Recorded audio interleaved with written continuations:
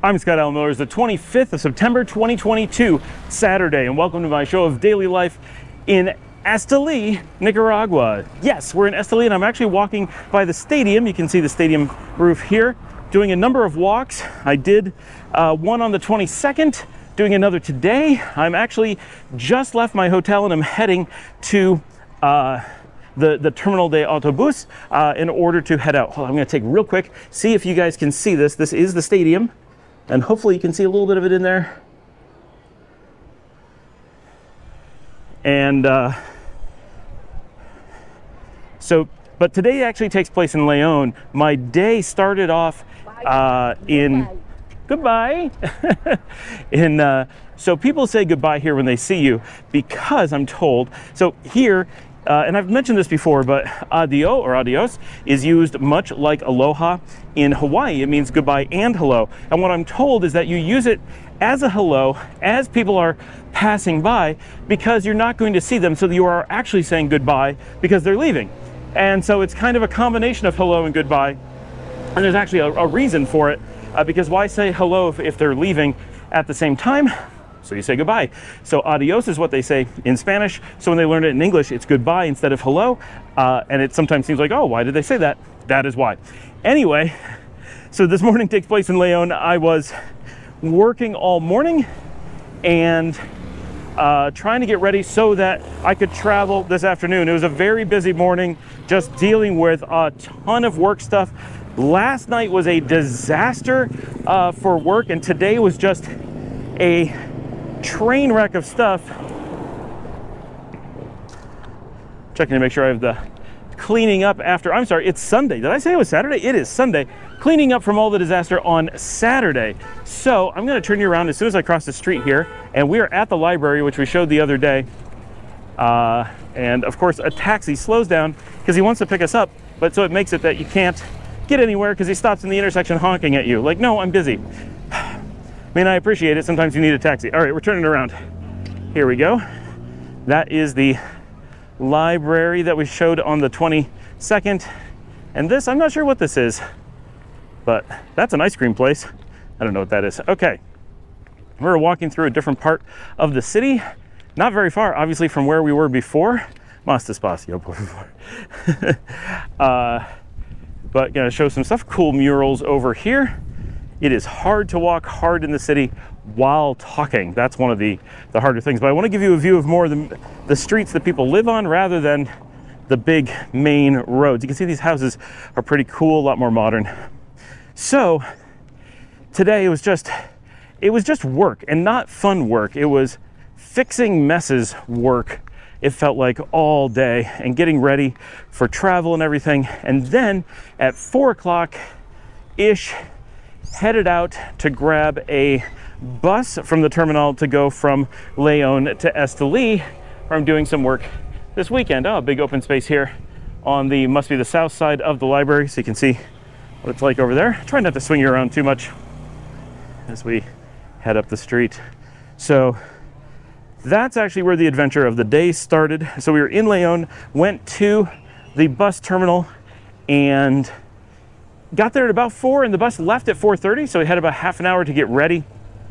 Went and got some food tried out some stuff. I discovered dedos de queso which are basically breadsticks with a bit of cheese in them and they're delicious. They're a little bit greasy. This is a really cool house. Nice and modern. That has the feeling like it was just built. Probably wasn't but feels that way. Uh, really good cheese sticks. Enjoyed that and uh, then caught the bus at 4.30. Now there isn't a direct bus, at least not most of the day, between Leon and Esteli. So what's necessary is to go to the transfer point at San Isidro, which we did when we're going from Matagalpa back to Leon as well. Not hard, very easy to do. It's not a big deal that you have to transfer at all, and it's at the end of the line. So if you fall asleep, doesn't matter. So we took the bus, and it took three hours to get from Leon to San Isidro. So 7.30, pulled into San Isidro. Uh, and because it was late at night, they didn't actually go to the terminal, which I've shown. I'm not sure if I've shown it in a video or shown in a short or something, but I have shown it at some point, the San Isidro terminal. and uh, which is quite nice. Uh, but we didn't go there because it was late at night. They just dropped us off in the street and we had to walk about half a block, real close. And there's just a bus stop out on the highway. We grabbed that, just stood there, I think about 10 minutes, and the Managua bus came through, picked up everyone who was waiting, and whisked us off to Esteli. And there's really only one or two real stops between San Isidro and Esteli, uh, La Trinidad being the main one. Uh, so it's relatively quick. So the entire distance, about an hour. Uh, so in total, about four, about four hours in total, not including the time we waited for the initial bus. So four and a half. Oh, this is a cute place here. A couple restaurants going on around here. And uh, so that put us at just before nine o'clock coming into Esteli in the south side of town out here where we're headed at the bus terminal. From there, we had to grab a taxi and uh, make it to the hotel where we are for the weekend, the Hex Hotel in the, on the north side of town. So we wanted to be on the north, uh, well, mostly just because it's where we're able to find rooms because not a whole lot of rooms available in town at the moment. Got a cool mural here. Hopefully I'm gonna get it.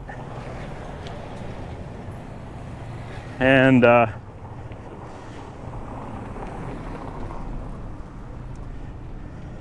so that went pretty smoothly. Long but comfortable. It rained most of the way. That slowed things down. There's a lot of people getting picked up and dropped off. So it's a local bus. That is the Bourbon Cafe right there. Not open right now. This place is very attractive and modern. Oh, look at this. Very different styles than you're normally seeing.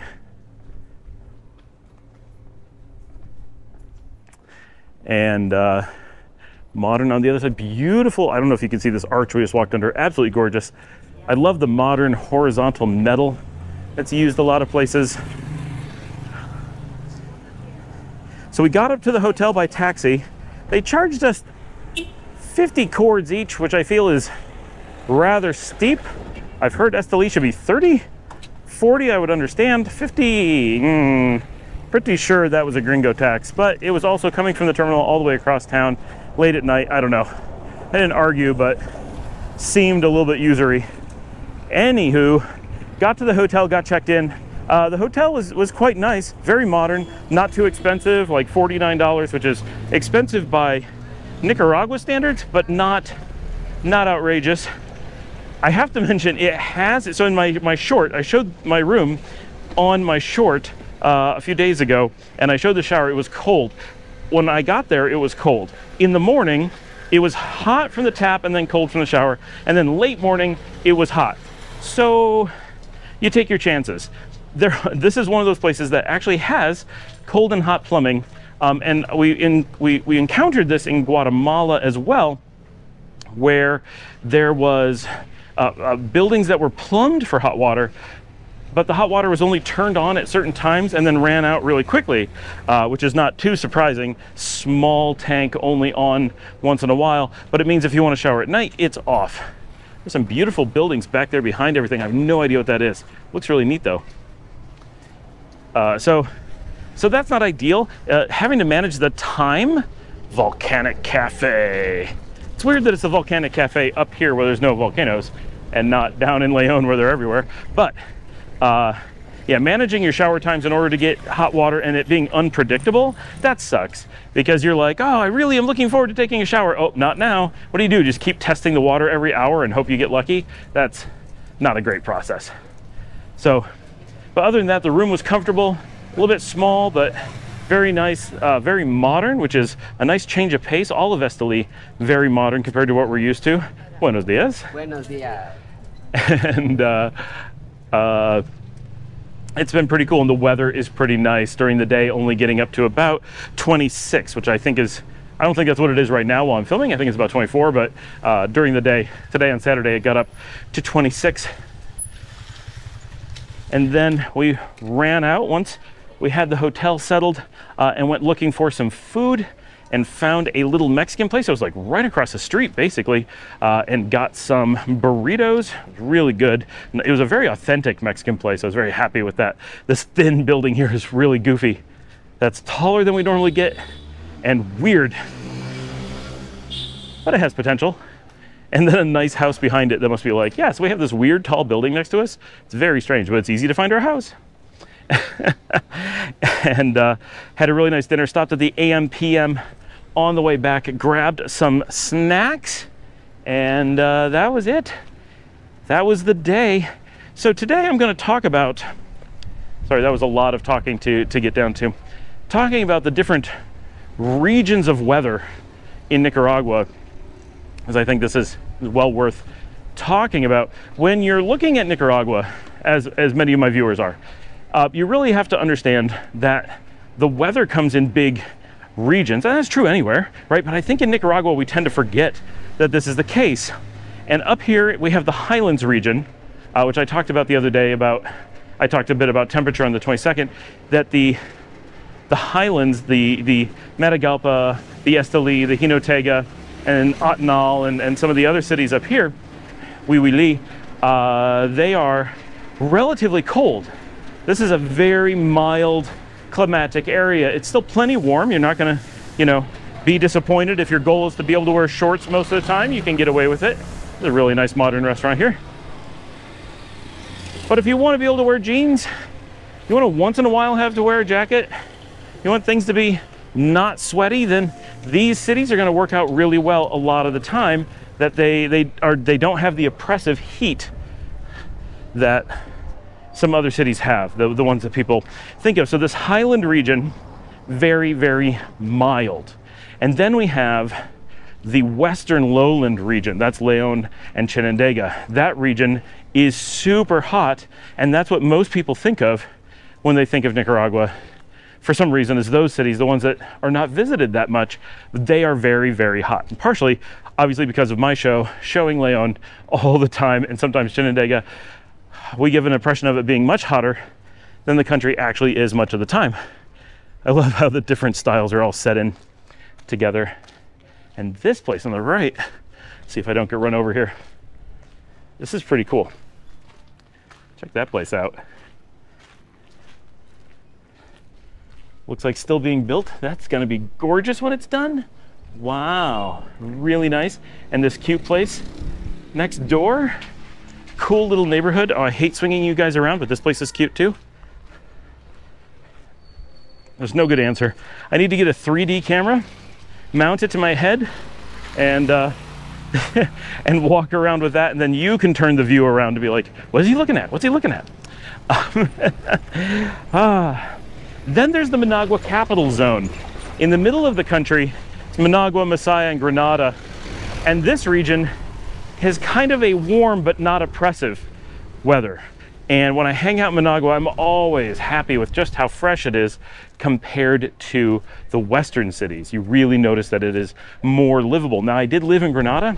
The thing that I found in Granada is that the air does not move that much, and that makes it feel much warmer. I also lived in Granada, having been in New York just before that, in a colder time of year, and did not get to live there long enough to have a long amount of acclimation. So Granada is probably not as hot as my memory serves for many reasons, but it is hot.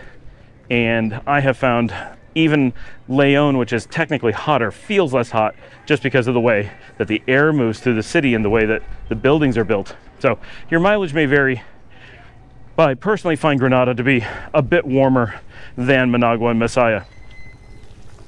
And then in the south, Rivas kind of falls into the same zone, but in between, there's another region with towns like El Crucero and Jinotepe, Diriamba, and these towns, while smaller, much smaller, no major cities, uh, they sit on kind of an upper plateau, which would kind of remind you of the plateau you get between Leon and the highlands near where Sébaco is where you get a higher elevation but not a high elevation uh, and a good amount of wind and smaller towns and these tend to be agricultural zones and they are a bit cooler yet than Managua but when you get down to Rivas and south you are back warm again near sea level and by the time you get to San Juan del Sur of course it actually sits on the water. It's hard to get more sea level than that. But people in San Juan del Sur report that living in the village down at sea level and living up on the hills around the village have a very different climatic experience in just that small space. And I've been told by people who live there with quite nice houses that it is really common if you live towards the top that you won't use air conditioning and there's so much wind that it's hard to keep things in place in the house because papers and stuff or books will blow around from the amount of wind which keeps it nice and cool. So it's it's really amazing how much altitude affects things in this country. Um, I feel it affects things more than it does back home in the States, but that's probably, I don't know, just my imagination kind of thing. And then in the east, on the Mosquito Coast, you get back to sea level again. So it gets very warm, but there's a very small population out there. So the jungle and Caribbean areas, look at these cute street dogs. Hello, you're famous now.